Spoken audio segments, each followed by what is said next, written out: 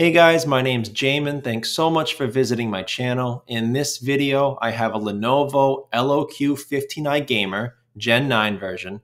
I'm going to show you how to get inside, access your memory if you need to replace or upgrade it. I'll also let you guys know the RAM specs if you need that as well. So first thing, power down your computer the correct way. Make sure it's off and unplugged from your charger.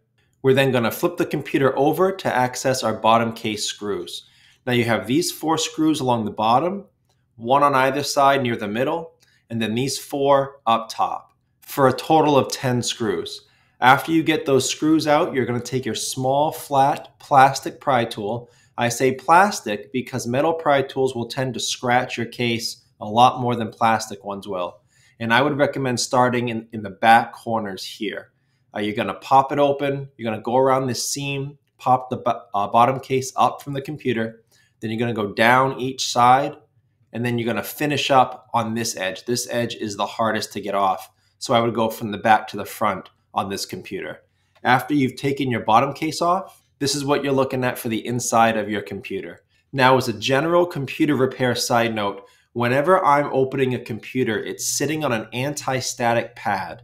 Either that or an anti-static bracelet are great ideas to avoid damaging things in your computer when you're working on them. If you need any help with tools or supplies for your computer project, as well as any replacement or upgrade parts for this specific model computer, there'll be a link above. Also below in the description, it'll have all those tools and replacement parts for the LOQ15i. Now, before I do anything in a computer, I will either remove or at least unplug my battery it makes it safe to work on the computer with as little power as possible running through it. Your battery plugs into the motherboard right here. Now, as you can see in your computer, there's a small grip on either side of that black plug. So you can use your fingernails or a pry tool and you can go one side at a time and pry that out from that plug. As with any computer plugs, you want to avoid pulling on the wires as much as possible. You want to just manipulate that plug whenever possible. Okay, so now that the battery has been removed or at least unplugged, it's safe to proceed deeper into the computer. Your RAM is right here under this metal plate. After getting that metal plate up, you can see some thermal pads here to help with heat, but it's gonna reveal two different RAM ports right here. The way you work RAM is it's held in by two spring-loaded metal arms on either side. The way to get the ram stick out is to gently pry those apart from each other, away from the ram stick. The ram stick will then release. It will oftentimes pop up a little bit, and then you can slide it out of, of the port right here. To get the ram back in, if you notice there's a long end and a short end. So you can't put the ram in upside down. You can only get it in the correct way. Once you get it in, make sure it's nice and flush and even, and then you press down in the center, and these metal arms will latch onto it and secure it in place. Now to shut out the RAM specs here, this computer has a max of 32 gigabytes RAM, which means to max it out, you would need a 16 gigabyte stick in each port to get your max RAM. Uh, this is DDR5 4800 megahertz, uh, 5600 megahertz in dual channel mode.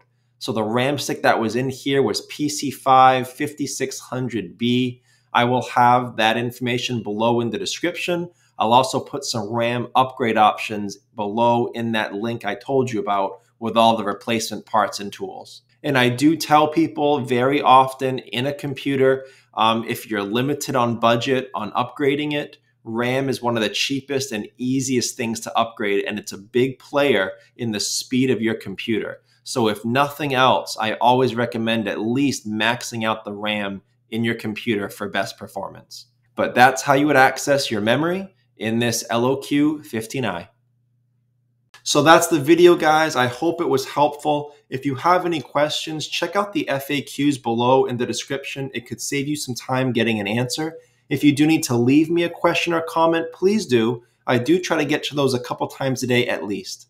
To support the channel, please remember to like and share, subscribe if you enjoy this type of DIY tutorials, and for those of you that want to support the channel a little further, you can always leave a small donation, and there's a couple ways to do that. First, right below the video to the right hand side, you'll see the Super Thanks button. You can click on that. You can select a tip amount here. Second way, you can use your Cash App. Find me at dollar sign PC Helper. You can leave a dollar amount and you can even leave a little note. So thank you so much for watching, guys, and I look forward to seeing you on my next video.